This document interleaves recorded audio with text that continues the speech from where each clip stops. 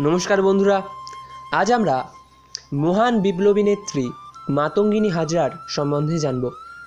স্বাধীনতার স্বাদ উপভোগ করতে এবং পরবর্তী প্রজন্মকে স্বাধীন দেশ উপহার দিতে যে সকল মানুষ ভারতের স্বাধীনতা আন্দোলনে শহীদ হয়েছিলেন, তাদের মধ্যে একজন হলেন মাতঙ্গিনী হাজরা। তিনি গান্ধী বুড়ি নামে পরিচিত। এই মহান বিপ্লবী নেত্রীর সম্বন্ধে শুরু থেকে জানা যাক। মাতঙ্গিনী হাজরার প্রাথমিক জীবন সম্পর্কে বিশেষ কিছু জানা না গেলেও শুধু এইটুকুই জানা যায় যে আঠেরোশো উনসত্তর সালে তমলুকের অদূরে হুগলা নামে একটি ছোট গ্রামে এক দরিদ্র কৃষক পরিবারে তার জন্ম হয়েছিল। দারিদ্র্যের কারণেই বাল্যকালে প্রাথমিক শিক্ষা থেকে বঞ্চিত হয়েছিলেন তিনি। অতি অল্প বয়সেই তার বিয়ে হয়ে গিয়েছিল। তিনি মাত্র আঠেরো বছর বয়সেই নিঃসন্তান অবস্থায় বিধবা হয়েছিলেন। তিনি উনিশশো পাঁচ সালে প্রত্যক্ষভাবে ভারতের স্বাধীনতা আন্দোলনের সঙ্গে জড়িয়ে পড়েন। উনিশশো বত্রিশ সালে তিনি আইন অমান্য আন্দোলনে যোগ দেন।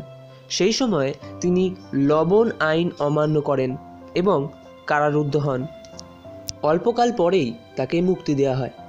কিন্তু কর্মকুবের দাবিতে প্রতিবাদ চালিয়ে গেলে তাকে আবার কারারুদ্ধ করা হয়। কারাগার থেকে মুক্তি লাভের পর তিনি ভারতীয় জাতীয় কংগ্রেসের সক্রিয় সদস্য পদ লাভ করেন এবং নিজের হাতে চরকা কেটে খাদি কাপড় বানাতেও শুরু করেন। ভারত ছাড়ো আন্দোলনের সময় কংগ্রেস সদস্যরা মেদিনীপুর জেলার সকল থানা ও অন্যান্য সরকারি কার্যালয় দখল করে নেওয়ার একটা পরিকল্পনা গ্রহণ করেন। এই পরিকল্পনার উদ্দেশ্য ছিল জেলা থেকে ব্রিটিশ শাসন উচ্ছেদ করে এখানে একটা স্বাধীন রাষ্ট্র প্রতিষ্ঠা করা। প্রধানত মহিলা স্বেচ্ছাসেবক সহ ছ হাজার সমর্থক তমলুক থানা দখলের উদ্দেশ্যে একটি মিছিল বের করে। এই মিছিলের নেতৃত্ব দিয়েছিলেন তিয়াত্তর বছর বয়সী মাতঙ্গিনী হাজরা।